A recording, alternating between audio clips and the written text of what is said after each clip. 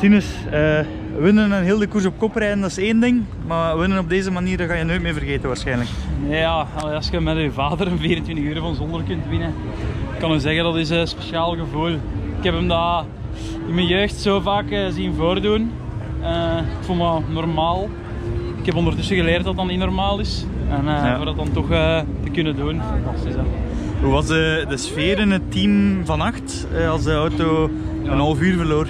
Goh, eigenlijk nog redelijk rustig. Het team werkte echt als een Zwitser zuurwerk.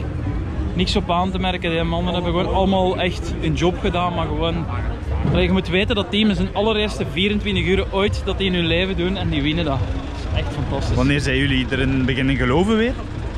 Uh, eigenlijk, uh, voor mij was het moeilijk. Waarom? Omdat ik, ik was juist in een rustperiode. Dus ik heb dat niet echt zien gebeuren. Maar op een gegeven moment, ja, uh, ik geloofde wel terug in een derde plaats. Uh, en dan in één keer, ja, voordat we het wisten, waren we terug op kop. Dus ongelooflijk. Ja, en nu het record van uw pa ja, ik denk dat Even naar zeker, maar dan moet je niet meer met hem rijden natuurlijk. Nee, voilà, is dat. En ik heb dan al nog zo'n goede compagnon, Korte. Dus als die altijd gaat meerijden, ga ik die ook niet kunnen kloppen, want er staat eentje voor. Maar daar ben ik nu niet mee bezig. Mijn doel is binnen, een 24 uur winnen.